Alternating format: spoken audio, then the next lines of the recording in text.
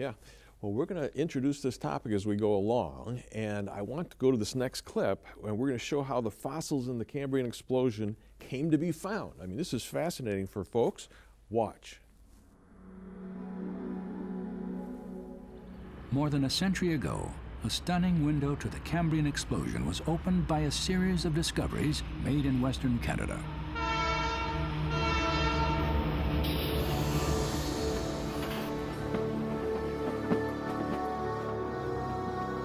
In 1886, the Canadian Pacific Railroad reached British Columbia and the Kicking Horse Valley.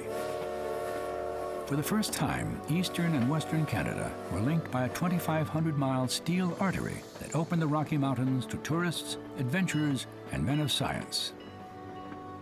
Among them was the geologist R.G. McConnell.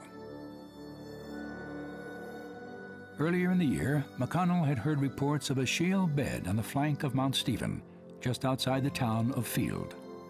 Railroad carpenters who had explored the area said it was filled with stone bugs.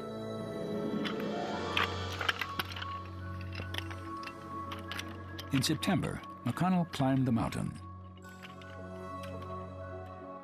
To his amazement, he found unmistakable imprints of prehistoric life on most of the shales in the bed. McConnell was standing in an ocean of fossilized trilobites. Trilobites are icons to the Cambrian, and there are billions of trilobites high up on the shoulder of Mount Stephen. And one reason for that is that as they grew, they periodically threw off their old skeleton and made a new skeleton. So basically, they made many fossils through their individual lives. McConnell collected hundreds of these fossils and sent many of them to other scientists for examination. News of his work soon reached the offices of the United States Geological Survey and Charles Doolittle Walcott, a leading expert on Cambrian paleontology.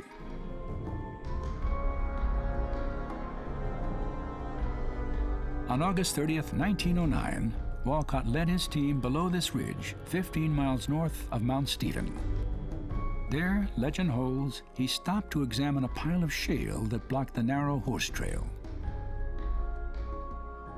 As he picked up a slab, the geologist noticed a faint but well-defined fossil he had never seen before. A delicate lace crab he later named Marrella. He knew plenty and plenty about the Cambrian. He was an expert on the Cambrian. He published many papers. And when you see this little Marrella, it's only about a centimetre in length. You get out your hand lens and you suddenly see that this is, you know, shouldn't be there. This is soft bodied, effectively. And I'm sure he realised in seconds what it meant. He must have. All right, Dr. Meyer, why were these Burgess fossils so important?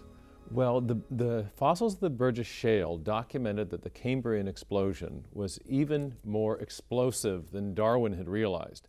Now, Darwin was really troubled by the Cambrian explosion, and the, just from the fossils that he knew, trilobites and uh, a range of other forms but he anticipated that future fossil finds would fill in the missing ancestors in the lower Precambrian rocks so that the history of life would look like a great branching tree, as I have on the slide here.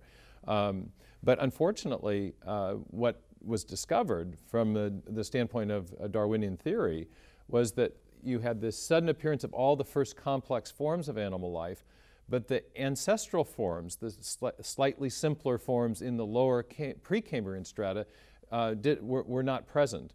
And the Burgess Shale, rather than documenting those ancestral forms, actually documented a range of new complex animals that even Darwin didn't know about. And so, in effect, the, the discoveries of the, the Burgess Shale showed that the Cambrian explosion had been even more explosive than Darwin anticipated. And so the mystery of those missing fossils was even more acute.